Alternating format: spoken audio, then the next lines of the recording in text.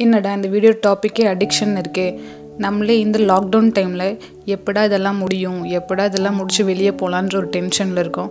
இந்த டைமில் போயிட்டு நீங்கள் how to overcome from addiction எல்லாம் வீடியோ பார்க்க சொல்கிறீங்களே அப்படின்னு கேட்டிங்கன்னா நீங்கள்லாம் பார்க்க வேண்டிய அண்ட் பார்க்கக்கூடிய ஒரு வீடியோ தான் இது. பிகாஸ் நம்ம டே டு டே லைஃப்பில் நம்ம எல்லாருமே ஏதோ ஒரு சில விஷயங்களுக்கு அடிக்டடாக தான் இருக்கும். இப்போ அடிக்டட் அப்படின்னு சொல்லும்போது ஃபார் எக்ஸாம்பிள் என்ன சொல்லலாம் அப்படின்னா நம்ம டே டு டே லைஃப்பில் இப்போ ரெகுலராக ஆஃபீஸ் போகிறவங்களா இருக்கட்டும் இல்லை மற்ற ஒர்க்குக்கு போகிறவங்களா இருக்கட்டும் ஸ்கூலுக்கு போகிறவங்களா இருக்கட்டும் எல்லாருமே ஏதோ ஒரு விஷயங்கள் நம்ம டே டு டே லைஃப்பில் பண்ணிகிட்டே தான் இருக்கோம். பட் ஒரு சில விஷயங்கள் நம்ம டே டு டே லைஃப்பில் அது இல்லாமல் இருக்கவே முடியாதுன்னு தோணும். ஃபார் எக்ஸாம்பிள் இப்போ ஆஃபீஸில் ஒர்க் பண்ணுறவங்களா இருந்தாங்கன்னா ஒரு லெவன் ஓ கிளாக் ஆச்சு அப்படின்னா ஆஃபீஸில் காஃபி குடிக்கிறது அப்படிங்கிறது ஒரு நார்மலான ஒரு விஷயம். ஸ்டார்டிங்கில் ஃப்ரெண்ட்ஸ் ரெஃபர் பண்ணியிருப்பாங்க காஃபி குடிச்ச அப்படின்னா கொஞ்சம் உனக்கு ரிலாக்ஸாக ஃபீல் பண்ணலாம். ஸோ காஃபி குடி அப்படின்னு சொல்லிட்டு லெவன் ஓ கிளாக் காஃபி குடிக்கிறதுக்கு நமக்கு சொல்லி கொடுத்துருப்பாங்க. ஸோ நம்மளும் குடிக்கிறதுக்கு காஃபி குடிக்கிறதுக்கு ஸ்டார்ட் பண்ணியிருப்போம் கொஞ்ச நாள் அப்படியே போயிட்டே இருக்கும். அதுக்கப்புறமா நம்ம சப்கான்ஷியஸ் மைண்டு ஃபிக்ஸ் ஆயிரும். நீ வந்து லெவன் ஓ கிளாக் காஃபி குடிச்சினா தான் உன்னால் ரிலாக்ஸ் ஆக முடியும். அப்போ தான் உனக்கு வந்து ஸ்ட்ரெஸ் இல்லாமல் இருக்கும் அப்படின்னு அப்படின்னு சொல்லிட்டு உங்கள் சப்கான்ஷியஸ் மைண்டு ஃபிக்ஸ் ஆயிரும். ஸோ அந்த டைமில் உங்களால் காஃபி இல்லை அப்படின்னா நம்மளால் அந்த ஸ்ட்ரெஸ்லேருந்து வெளியவே வர முடியாது அப்படின்னு தோண ஆரம்பிச்சிடும் ஸோ அந்த இடத்துல காஃபி அப்படிங்கிற ஒரு விஷயம் வந்து உங்களுக்கு ரொம்பவே கம்பல்சரியான ஒரு விஷயம் ஆகிடுது ஸோ இந்த இடத்துல நீங்கள் காஃபிக்கு அடிக்டட் ஆயிடுறீங்க. இந்த மாதிரி காஃபின்னு மட்டும் கிடையாது நிறைய விஷயங்களுக்கு நம்ம எல்லாருமே அடிக்டடாக தான் இருக்கும். இப்போ அடிக்ஷன் அப்படிங்கும்போது நமக்கு அதனால் எந்த சைடு எஃபெக்ட்ஸோ இல்லை அதனால் நமக்கு எந்த விதமான டேமேஜஸோ இல்லை அப்படின்னா ஓகே அது ப்ராப்ளம் கிடையாது. பட் அதனால் நமக்கு ஃபிசிக்கலாகவோ இல்லை சைக்கலாஜிக்கலோ நிறைய டேமேஜஸ் இருந்தது அப்படின்னா நம்ம அந்த அடிக்ஷன்லேருந்து வெளியே வர்றது அப்படிங்கிறது நம்மளோட கம்பல்சரியான ஒரு விஷயம். லாக்டவுன் டைமில் நம்ம எல்லாருமே ரியலைஸ் பண்ணியிருப்போம் நம்ம எந்த விஷயத்துக்கெல்லாம் அடிக்டடாக இருக்கோம் எந்த விஷயம் எல்லாம் இல்லைனாலும் நம்மளால இருக்க முடியுது எந்த விஷயம்லும் நமக்கு ரொம்ப ப்ராப்ளம்ஸ் க்ரியேட் பண்ணுச்சு அப்படிங்கிறத நம்ம ரொம்பவே ரியலைஸ் பண்ணியிருப்போம்.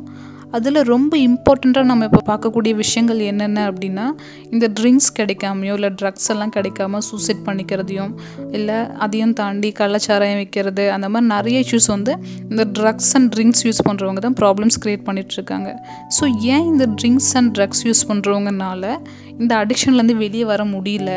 அதுலேருந்து எப்படி வெளியே வரலாம் அப்படிங்கிறதுக்கான வீடியோ தான் இது. இந்த ட்ரிங்க்ஸ் அண்ட் ட்ரக்ஸ் இது வந்து நம்ம நம்ம டே டு டே லைஃப்பில் நிறைய விதமான ப்ராப்ளம்ஸ் க்ரியேட் பண்ணிகிட்ருக்கோம் நம்ம எல்லாருமே நினச்சி ஒரு சில பேர் இந்த ட்ரிங்க்ஸ் யூஸ் பண்ணுறவங்களாக இருக்கட்டும் இல்லை ட்ரக்ஸ் யூஸ் பண்ணுறவங்களா இருக்கட்டும் அவங்க எல்லாருமே சொல்லக்கூடிய மெயினான ஒரு விஷயம் அப்படின்னா வீட்டில் இருக்கவங்க எல்லாருமே மேபி சொல்லியிருப்பாங்க ட்ரிங்க்ஸ் யூஸ் பண்ணாத அப்படின்னு சொன்னால் அப்போ அவங்க சொல்லுவாங்க நான்லாம் இந்த விஷயத்துக்கு அடிக்டெல்லாம் கிடையாது. நான் ட்ரிங்க் பண்ணணுன்னா ட்ரிங்க் பண்ணுவேன் இல்லை வேண்டாம்னு நினச்சா நான் விட்டுருவேன் அப்படின்னு சொல்லுவாங்க.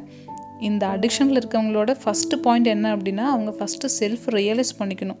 அவங்க பண்ணுறது தப்பு தான். அவங்க வந்து ஒரு விஷயத்துக்கு அடிக்டடாக இருக்காங்க அப்படின்னு சொல்லிட்டு அவங்க ரியலைஸ் பண்ணணும்.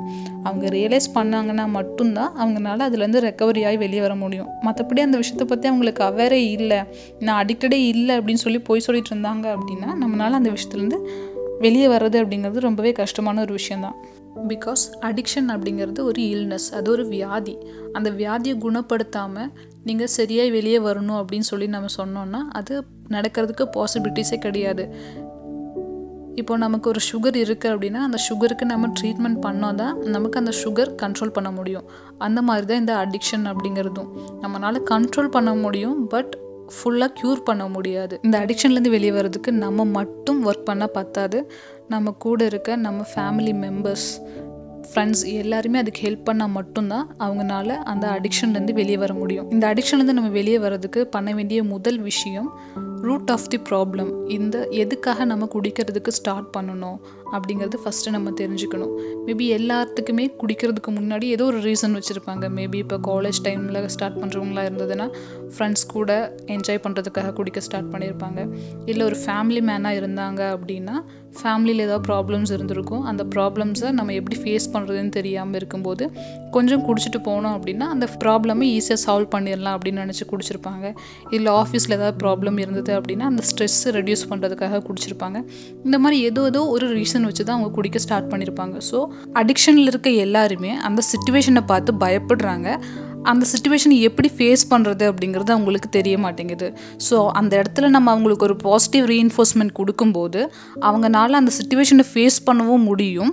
ப்ளஸ் அவங்களுக்கு அந்த இடத்துக்கு என்ன ஒரு சொல்யூஷன் தேவைப்படுதோ அதை அவங்களால ஈஸியாக டிசைட் பண்ணவும் முடியும். ஒரு அடிக்டட் பேஷண்ட்டுக்கு ஃப்ரெண்ட்ஸ் அண்ட் ஃபேமிலியோட சப்போர்ட் எவ்வளோ முக்கியமோ அதை விட ரொம்ப முக்கியமான விஷயம் அந்த பேஷண்ட் கம்பல்சரி அவங்க ஃபேமிலி டாக்டரை கன்சல்ட் பண்ணி ஃபுல் ஹெல்த் செக்அப் பண்ணிக்கணும். பிகாஸ் அவங்க ஃபிசிக்கலாகவும் மென்டலாகவும் நிறைய விதமான இஷ்யூஸ் ஃபேஸ் பண்ணிகிட்ருப்பாங்க ஆர் இதுக்கப்புறமா ஃபேஸ் பண்ணுறதுக்கான பாசிபிலிட்டிஸ் இருக்குது ஃபார் எக்ஸாம்பிள் அவங்களோட இம்யூன் சிஸ்டம் ஃபுல்லுமே வீக்காக இருக்கும் அது மட்டும் இல்லாமல் கை நடுங்கிறது ப்ராப்பராக தூக்கம் வராமல் இருக்கும். சாப்பிட்றது ப்ராப்பராக சாப்பிட முடியாது. ப்ளஸ் லிவரில் ப்ராப்ளம்ஸ் ஜென்ரேட் ஆகிருக்கும் லங்ஸில் ப்ராப்ளம் ஜென்ரேட் ஆகிருக்கும் அந்த மாதிரி ஃபிசிக்கலி நிறைய ப்ராப்ளம்ஸ் அவங்க ஃபேஸ் பண்ணிகிட்ருப்பாங்க மேபி அவங்க சொல்லாமல் கூட இருந்திருக்கலாம்.